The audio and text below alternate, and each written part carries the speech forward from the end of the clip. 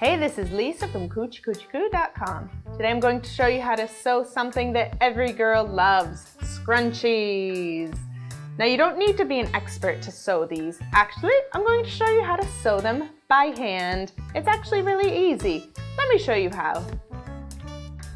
Okay, to make your scrunch, you need a long strip of fabric, which is 45 centimeters long and 8 centimeters wide. In inches, that would be 18 by about 3.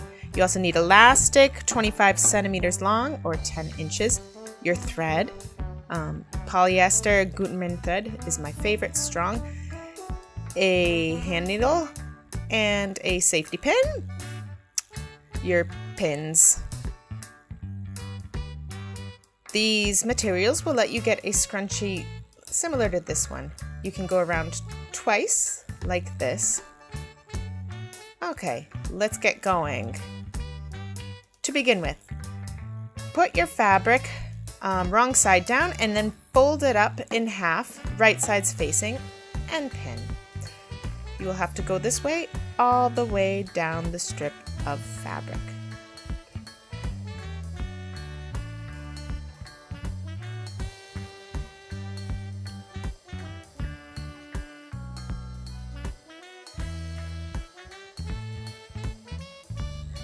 When you are finished, make sure that it's more or less lined up.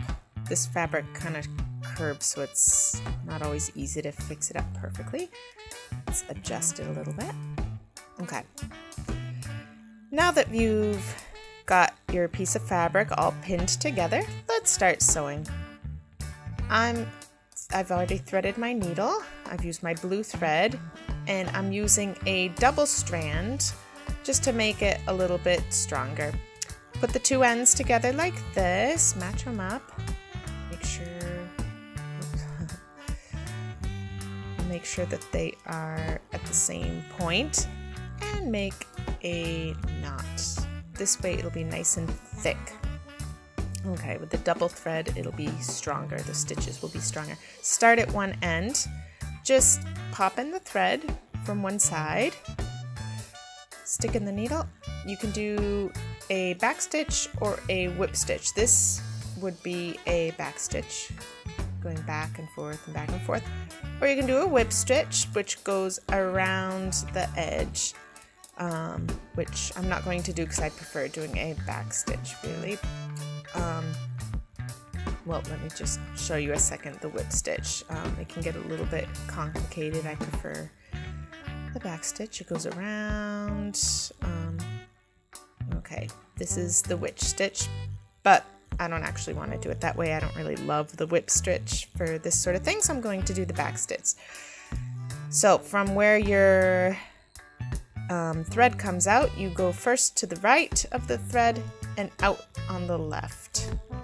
To the right, in, take the pin out, and out to the left make sure the thread doesn't get caught. Let's look at that a little bit closer up. Okay, see where the thread comes out. Okay, you're gonna put the needle in a little bit to the right and take it out a little bit to the left. Okay, pull it out, pull. Okay, that's our stitch. Again, there's a thread, put the needle in to the right, take it out a little bit to the left, the smaller your stitches are, the stronger they'll be. Okay, pull. There we are. This is how the back stitch looks from the front. And here it is from the back. Okay.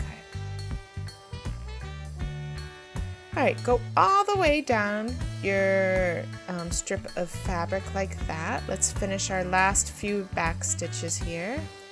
Take out the last pin. Through.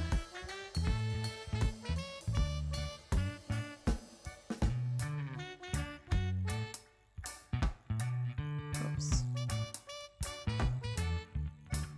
Okay. We're at the very end here. One last back stitch. Okay, we're all done. Now, so now let's make a little knot. We'll grab a teeny bit of fabric with our needle go like that. pull it through, but leave a little loop like this. It's got the double strand. Stick the needle in it and pull it through. This will make your knot. If you want, you can do it again and make it extra strong. I like to do this. It doesn't take any extra effort and it makes it stronger. Okay. Put it through the loop once or twice. Okay, when you're done, just snip off the thread, trim it off. And there is our tube of fabric. Perfect. Now we need to turn it right side out. To be able to do that, we're going to use a safety pin. Use a medium-sized safety pin. Um, poke it into um, poke it into the seam allowance because here it's a little bit more sturdy. That way you don't risk ripping by accident the fabric. So stick the um, safety pin right inside the tube like that. Push it through with your finger and you can feel it from the inside. There it is. It's poking out. Okay. So with one hand, you're going to hold on to the pin while you pull out the fabric with the other hand. Okay, push it through. You're scrunching up the fabric. You can still feel it in there. Hold on to it, and with your other hand, just slip the fabric and pull it out like that. This particular fabric is a um, velour. It's very slippery, so it's actually perfect for this type of thing. It turns right side out really easily. There it is. Okay, so the end has come out, the other end. Um, let's just pull it the rest of the way out. Here it just slips right out. There we go. Take off the safety pin. There's our tube. Okay, this is going to be our scrunchy fabric. Now, we need to do the elastic. Get your piece of elastic, um, remember 25 centimeters or 10 inches. Again, take the safety pin, stick it into the end. I usually do in and out like this just to keep it on better. You don't have to. All right, now we're gonna have to slip this right through the tube of fabric here. So stick it into one end and similar to what we did to before, just um, scrunch up the fabric, hold onto it with one hand, and pull the fabric with the other hand so it unscrunches. Okay, make sure you holding on to the end of the elastic right here with your other hand, otherwise it'll slip inwards and you won't be able to do anything. Hold the elastic like this. I used to, I like to hold it in those two fingers there. Continue scrunching. There it is. It's coming through. Keep holding on from with the first hand. There we've got the two ends. Okay. There we go. So, take out the safety pin. Let's kind of scrunch up that fabric so it's out of our way. We want to have a lot of space where the elastic is. Okay. Line up the ends of the elastic like this. Um, this elastic curves, so I make it so that it curves together. The two pieces curve together. We want about five centimeters on each side of the knot. Five centimeters would be about two inches. So put them together, make a knot like that. Knot it kind of loosely so you can check how much there is. Is that about five centimeters? Hmm, more or less. It's a little bit more maybe, but whatever. Let's tighten it once we're happy with how much it is. All right, let's test to see if that's the right amount we want. Just pull the fabric back around more or less. Um, test it out. Let's see. Is that how we want it? One time around. Um, here we go, looping it around twice. It's tight, but I mean, that's how it should be. Okay, it works. So now we need to close up the ends of this um, this tube of fabric. So first let's trim off the edge of, or the ends of the um, elastic. Okay, let's get our needle and thread ready again. Okay, so now I've got my needle and thread ready. All right, let's get the openings all set up. The easiest way to do it is to first get that knot of elastic out of the way um, you want as little bulk as possible. So just kind of scrunch it around until the knot is no longer there. So there, it's not there. Where is it? Um, there it is. I can feel it right there. Okay, so it's out of the way. Excellent. Okay. We want to make sure it's not twisted around. See here, it's kind of twisted around. So look at the look at the seam here. You see there's our seam follow it around all the way around. There we go. And untwist the fabric as you go like that. Okay, there we go. And you can uh, arrange it there so that the two seams are matching up like this.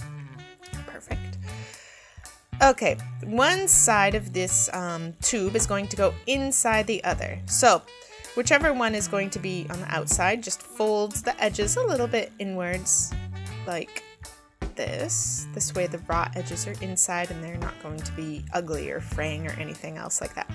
Then stick the other part right inside. Oh, okay, there we go. It may or may not fit perfectly, but it's not really a problem. It's scrunchy. Okay, see the seams match up there?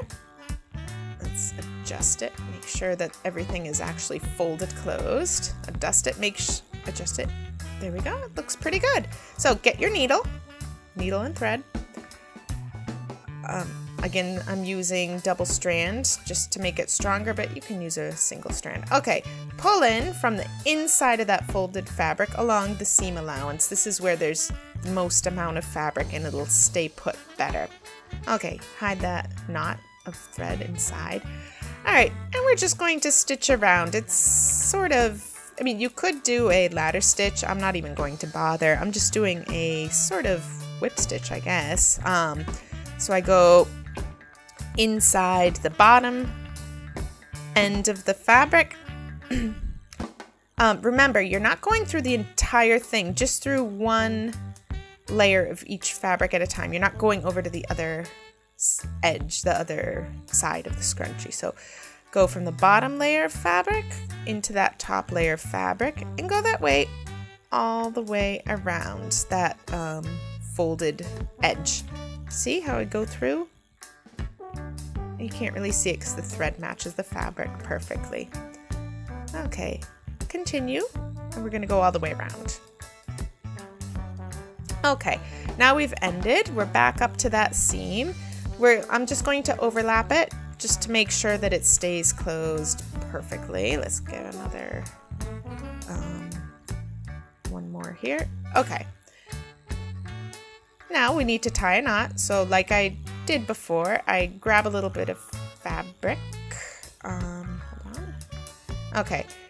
Um, there we go, a little bit of fabric with the needle. Pull. I'm going to leave a little loop here. You can see there. Pull the needle and the thread through.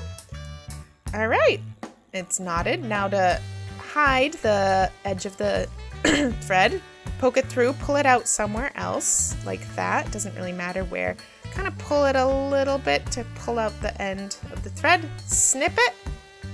Then just kind of arrange your fabric. The end of the thread will go in and you're all done. There's your cool new scrunchie. There we go. You can wrap it around twice, or if you have less hair, thinner hair, or little girls, you can do it three times. Protects the hair. There you go. All right, so now that you have your brand new scrunchies, try them out. Have a load of fun. Head on over to cucicucicoo.com for all sorts of great sewing tutorials and lessons. And hey, make sure you click subscribe in my YouTube channel to get all sorts of other fantastic videos. See you soon!